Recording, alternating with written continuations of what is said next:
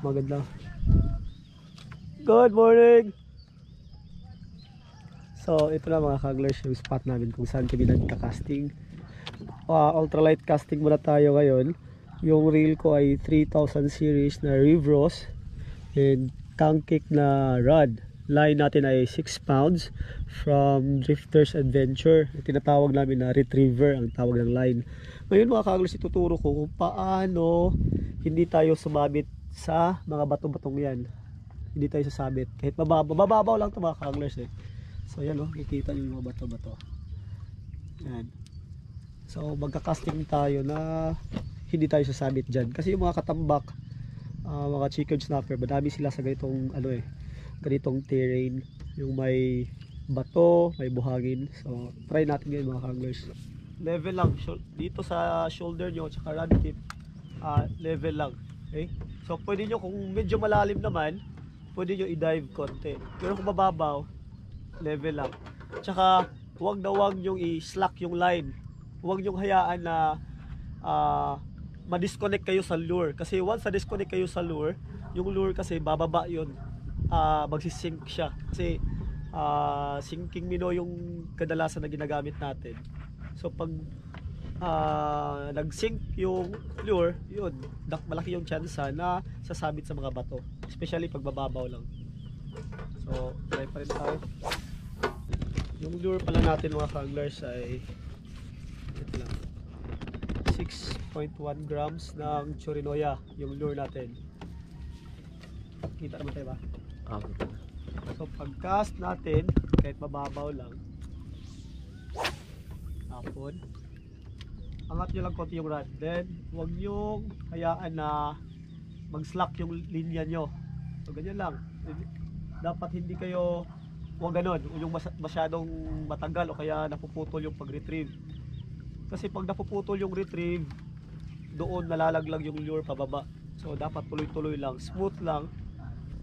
Sa pagcast naman, siguro mga ito, ganito kahaba, pwede na. Lalo na pag hindi pa masyado magaling magcast. Isa, dalawa, tatlo, apat. Apat na, tawag lang, apat na, Dangaw. danga. Hindi ko alam sa, ano tawag sa Tagalog nun. So, apat na ganun. Tapos, ah, hawak, smooth lang, relax lang. Yun. And retrieve. Pagdating na pagdating sa tubig, retrieve agad. Baka sumabit.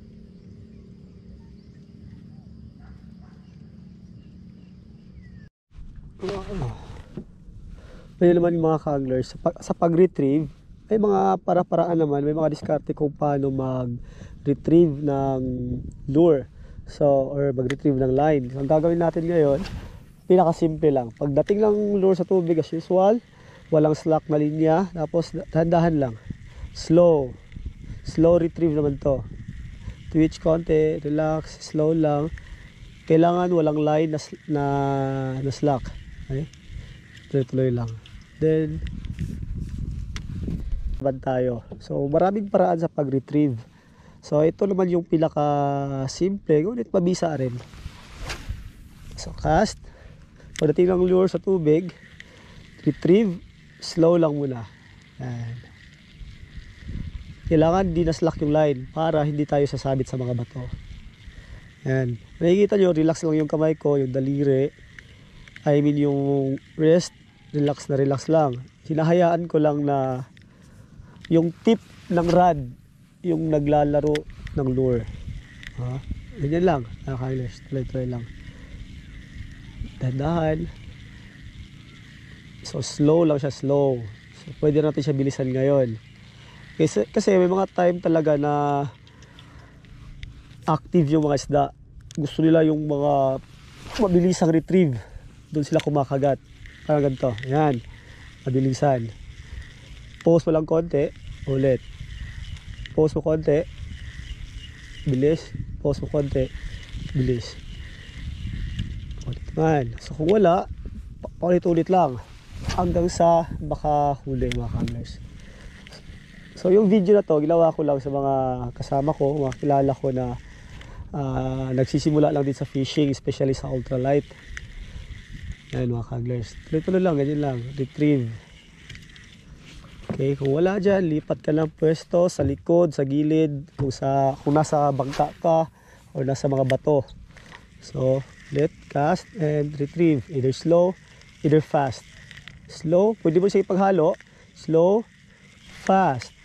Slow, fast. So, pwede mo siya ihalo mga kanglers. So, tuloy-tuloy lang hanggang makahuli. Pero ngayon mga kanglers, ah, ginawa ko lang tong video na to. Ah, mahuli man o wala, para lang din sa mga sumusubaybay sa Drifters Adventure, especially sa mahilig sa ultralight. So,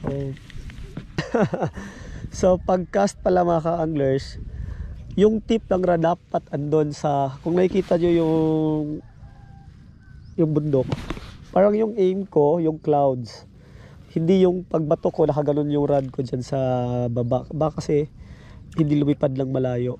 So, ang gagawin mo, parang ibabato mo yung lure mo, pero yung target mo, parang yung clouds. Naka-angle ka doon. Yun, naka-diretso yung rod tip. Sa hayaan mo lang. Then, ginawa kong video ngayon para lang may turo sa inyo kung paano mag-cast, paano mag-retrieve, at paano maiwasan na sumabit sa mga bato. So, yung lure natin mga kanglers ay uh, Chorinoya.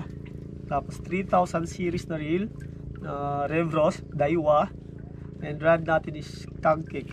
Then yung line natin ay 6 pounds line, tinatawag namin na Retriever from Drifters Taco Shop. Ah... sa ngayon mga kanglers, ginawa ko lang talaga yung video na yun para sa mga baguhan, mga nagsisimula pa lang sa fishing. And kagabi, nag-jig kami. Ah, lizard fish lang yung huli namin mga kanglers. Wala masyadong, walang mamaw, walang mamaw. Mga lizard fish at saka ang tawag ng isang isda na yun, barla, barla. oh.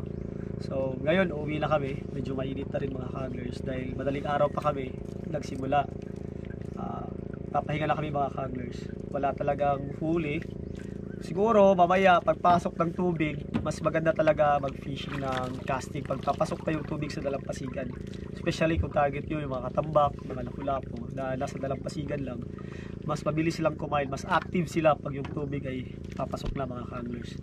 So muli, ah, nagpapasalamat ako sa suporta ninyo sa Drifters Fishing Adventure, sa Drifters Tackle Shop. Maraming salamat sa suporta ninyo mga anglers. So next time ulit baka pag, pag hindi na full moon baka makahuli tayo ng mga halimaw pa so maraming salamat ulit fish on Ah, bago matapos ang lahat pala shout out pala sa mga sumusuporta sa Drifters Adventures Ah, si Buhay Dagat TV. Buhay Dagat TV. Maraming maraming salamat kapatid. Maraming maraming salamat sa pagsubaybay sa sa mga videos ko. Si Brother Jonel Dahuya Corporal. Jonel Dahuya Corporal, brother, maraming maraming salamat sa sa suporta. Maraming salamat sa pagsubaybay. Ah, si ano pa? Ah, si Bradix PH. Bradix ah Bradix PH. Maraming maraming salamat kapatid. Maraming maraming, salamat sa iyo. Ah, si ano? Bakski Bakski Works, Bakski Works. Maraming maraming salamat sa iyo kapatid. Ah, Bakski Bakski Works ata. Ah, maraming maraming salamat sa iyo mga kap ah, maraming salamat sa iyo kap- kapatid. Ah, 'yun po. Ah, maraming maraming salamat sa inyo sa pagsubaybay at sa walang sawang pagsubaybay. So muli mga kanglers, sa susunod na adventure na naman tayo.